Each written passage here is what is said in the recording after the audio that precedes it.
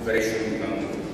Io ho preparato una presentazione in cui illustrerò un po' il percorso che la mia azienda sta, sta facendo, un percorso relativamente recente.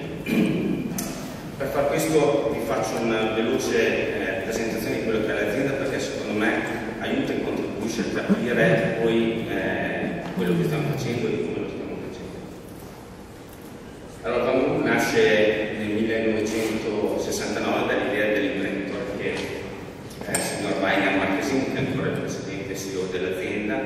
che ha l'idea di iniziare a produrre coccle per il trasporto delle polveri nel settore del bettonaggio è un'attrezzatura molto vecchia che però eh, continua ad essere utilizzata in tantissimi settori. L'applicazione è il trasporto tipicamente sotto sito quando inizia l'azienda. La, Oggi l'azienda è cresciuta, si è espansa, oltre alle coppie che comunque è il cuore della nostra azienda, ci sono tantissimi altri prodotti che poi vedremo. Oggi lo stabilimento principale quello in Italia, 330 metri quadri di area di 46.000 in Italia, eh, a Ponte Motta, di Cavezzo, Modena, in zona del terremoto, c'è anche il, il corpo. La copertura, eh, diciamo, per la tipologia di prodotto, l'azienda si è eh, espansa, è diventata una piccola multinazionale, quindi abbiamo siti produttivi eh, in diversi punti dell'Europa, in Asia e in America, sia del nord che eh, del sud. La copertura commerciale praticamente nell'Africa centrale. Abbiamo tantissimi brand, eh, ognuno per tipologia di prodotti, come dicevo eh, sono nati dalla coclea, ma abbiamo diverse mh, famiglie di prodotti che si sono aggiunte man mano e anche recenti acquisizioni con brand, scusate, con brand anche eh, penso conosciuti come ad esempio la partecipazione in. Questo è un po' per capirci il tipo di prodotto, un prodotto che di base è semplice, quindi nasciamo dalla coclea, questa è una coclea in acciaio inox, ma eh, diciamo poi c'è stata un'espansione. Abbiamo vibratori con vibranti, coclee per gli impianti di energia, quindi per la generazione di energia, eh, miscelatori, valvole di vario tipo, impianti per la depurazione dell'acqua. Quindi dall'idea originale abbiamo aggiunto diversi prodotti che hanno un denominatore comune, molto spesso è la coclea, ma sicuramente sono prodotti di carpenteria, quindi prodotti semplici, tra virgolette anche un po' poveri. Sottolineo il filtro perché poi sarà l'oggetto di quello che vi farò vedere successivamente. I settori, siamo partiti dal bettonaggio, ormai siamo in tutti i settori, food, asfalti, animal feed, chimica, eh, miniere, naturalmente il bettonaggio, la plastica, le miniere, la farmaceutica, la, la, la depurazione delle acque, il vetro, le quindi siamo ormai su diversi settori molto differenziati. Ecco, l'azienda ha sempre, avendo un prodotto eh, diciamo relativamente semplice, ha fatto eh, proprio, quindi ha nel DNA uno spirito fortemente innovativo.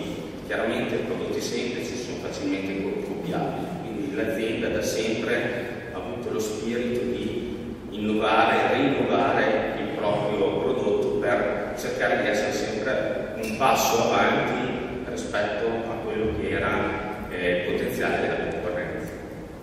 Cosa significa per noi innovazione?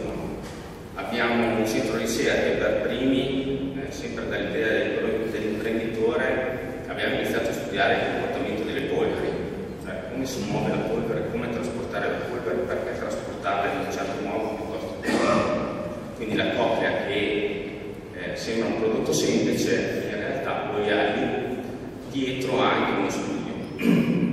abbiamo oggi circa 10 laboratori nel mondo dai quali riceviamo quasi quotidianamente informazioni relativamente a come si mescolano le polveri. Abbiamo 115 invenzioni e 150 brevetti internazionali. Ma per entrare nel vivo invece di quello che vi volevo, volevo condividere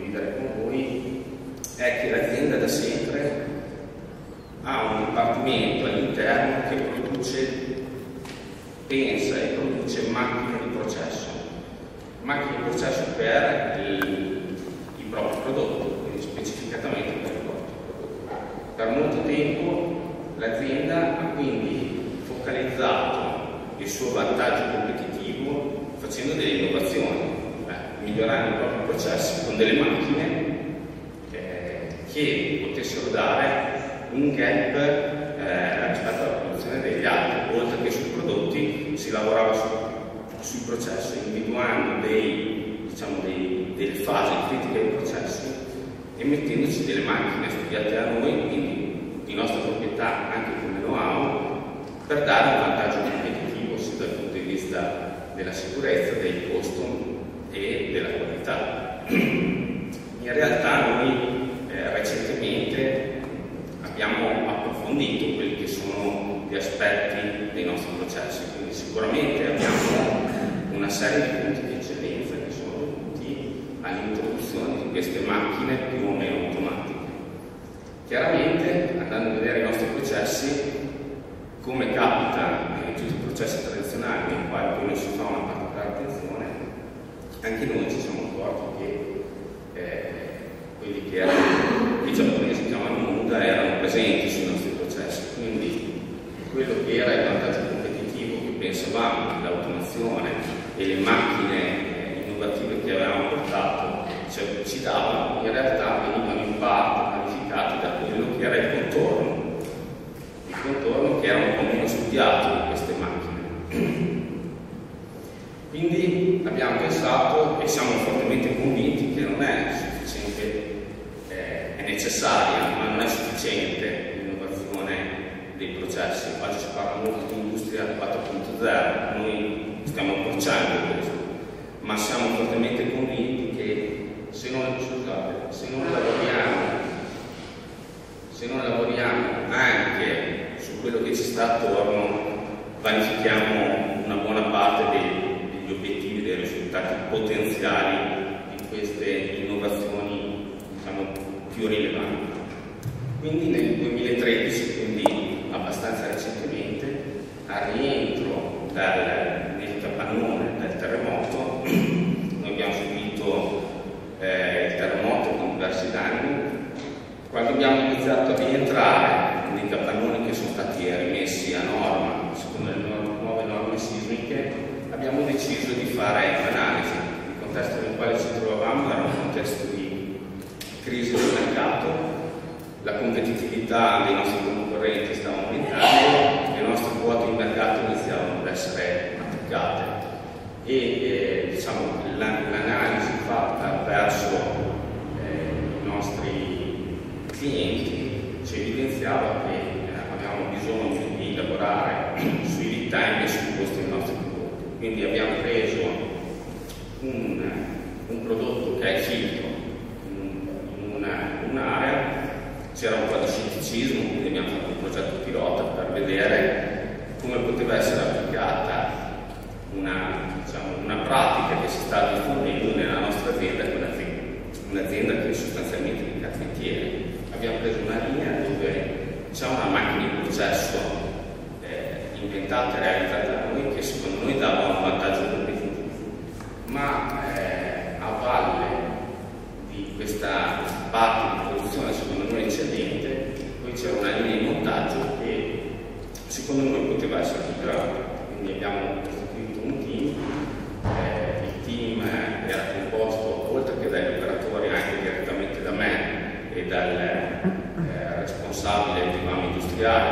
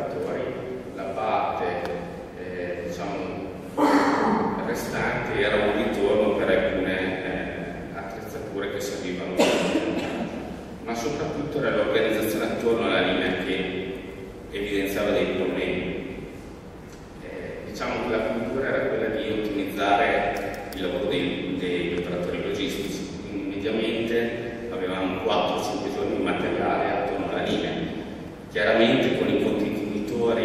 che classicamente girano nelle aziende, eh, questi 4-5 giorni di materiale non potevano stare sul corpo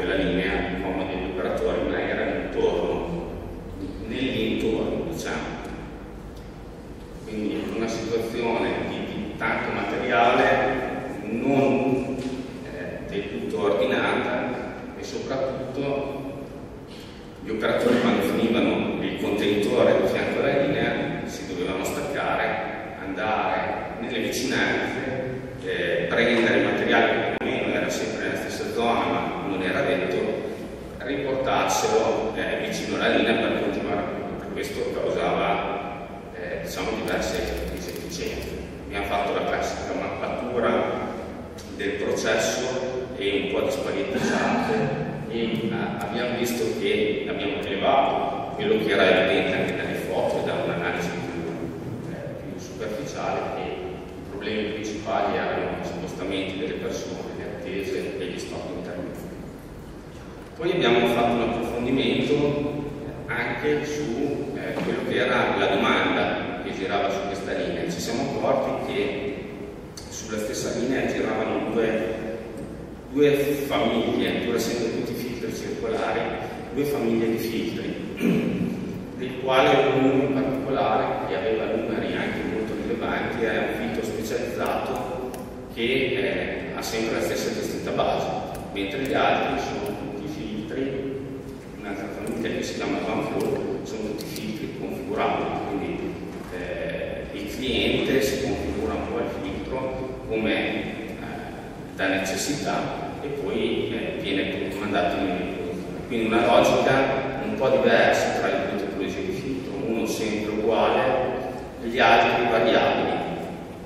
con eh, un'evidenza di quello sempre uguale aveva anche dei numeri rilevanti. Quindi il team, eh, vista questa situazione, ha deciso di eh, creare due linee, una dedicata al filtro eh, siloto perché i numeri lo giustificavano e quindi ottimizzare al massimo la linea eh, di questo filtro. Si è calcolato il tag time, quindi la, la richiesta della domanda, poi la cosa interessante è stato il coinvolgimento delle persone, degli operatori, nel creare quello che è il tattico diciamo, del processo. Abbiamo montato un filtro insieme a loro, abbiamo visto qual era la sequenza corretta per il montaggio del filtro, ci ha rivelato anche alcune incoerenze processo che avevamo in atto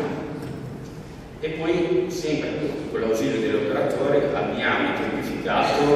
il montaggio nuda frame, quindi togliendo quelli che erano sprechi eh, attorno alla linea. E abbiamo visto che con due postazioni avremmo una cadenza in accordo con quello che era il tactile. Quindi siamo andati alla designazione della linea, una linea molto corta in realtà, due postazioni, dove però introducevamo diversi concetti nuovi, nessun preassemblaggio, o meglio, nessun preassemblaggio fatto in postazioni separate. Quindi due postazioni principali, dietro all'operatore alcune zone dove uno poteva fare il preassemblaggio, ma subito dopo l'inserimento nel. Poi, essendo il sito sempre uguale, abbiamo definito un bordolineo sempre uguale. L'operatore quindi trova componenti sempre allo stesso posto e, e comodi sistemati in maniera economica. L'altro eh, concetto che abbiamo introdotto era quello di evitare l'utilizzo del muletto. Noi eravamo abituati che eh, qualora finisse la cassetta so, delle viti, l'operatore chiamava il logistico, magari anche alzando, semplicemente alzando il braccio, e gli diceva ho finito le viti. Quindi se capitava che nello stesso stabilimento ci fossero la concomitanza di due persone che finivano il materiale, uno dei due aspettava. Quindi abbiamo tolto la logica carrello elevatore che lavora con un taxi, abbiamo introdotto la logica del trenino logistico. E abbiamo creato un primo step dove eh, c'era il supermercato di famiglia per il sito. Eh, dico il primo step perché poi abbiamo fatto successivamente l'aggancio a quello che era erano i fornitori di questa, di quest'area. Chiaramente per organizzare questa linea abbiamo dovuto fare anche un lavoro di ristandardizzazione dei, dei contenitori, perché avevamo fatto un calcolo se avessimo utilizzato i contenitori in essere la linea sarebbe diventata lunga 25 metri. E invece è una linea che è molto molto contenuta perché diciamo, parte il corpo e le medie filtranti, eh, i, i componenti sono piccoli.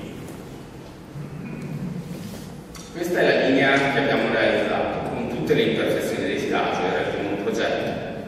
E,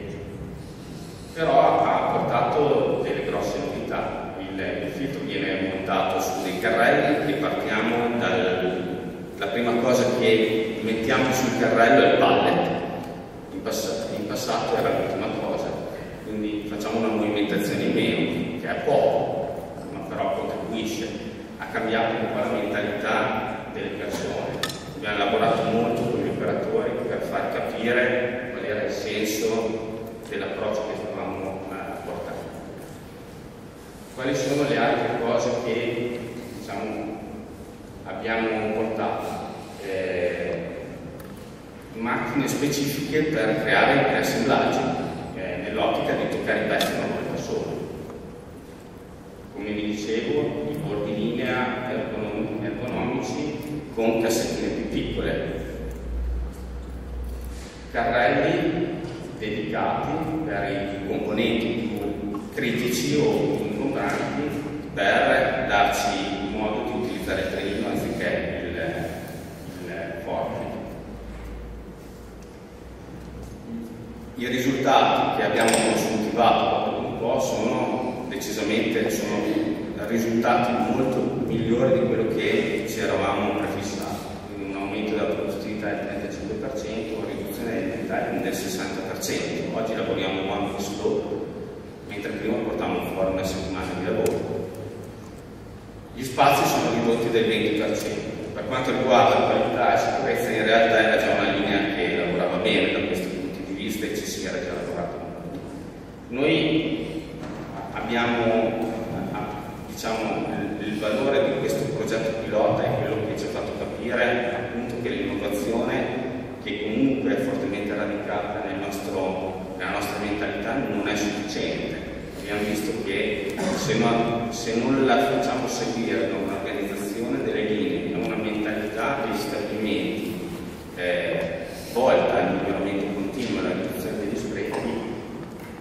parte dei miglioramenti che abbiamo con queste macchine molto innovative lo perdiamo. Quindi abbiamo capito che è necessario lavorarci, quindi abbiamo fatto una serie di attività, abbiamo rivisto tutto il layout, abbiamo iniziato a collegare alcune delle trading facendo dei supermarket, eliminando la programmazione della linea. Abbiamo lavorato, come vi dicevo, sul nostro fornitore che è a fianco, rifacendo completamente il layout e facendo anche i primi esperimenti di disaster sequence, fino ad arrivare al eh, 2016 dove abbiamo iniziato a lavorare su quello che è il Vamix Energy Program e iniziare a pensare che il problema diciamo, che stiamo vivendo eh, in questi mesi che avremo da affrontare nei, nei prossimi anni è quello di portare queste esperienze all'estero. Abbiamo fatto qualche esperimento eh, in Europa e ci stiamo accingendo, dopo aver fatto un audit rispetto al nostro Bambix Challenge Program e training all'estero, ci stiamo accingendo a fare i primi progetti pilota in India, in, in Cina e in America che sono gli stabilimenti principali. Ecco la sfida che noi abbiamo in questo momento è quella, è questa, è quella di portarlo all'estero dove la mentalità delle persone è diversa e con una struttura, noi pur essendo una multinazionale siamo una piccola multinazionale, facciamo 350 milioni di euro di fatturato, pur avendo una struttura che è simile a molte grandi multinazionali, quindi la struttura centrale che può dare supporto alle strutture periferiche è, relativamente piccola, quindi la nostra sfida siamo convinti e anche la convinzione oggi è convinta che sia necessario andare per questa strada, stiamo cercando di capire qual è il modo più efficace per portare in giro questo tipo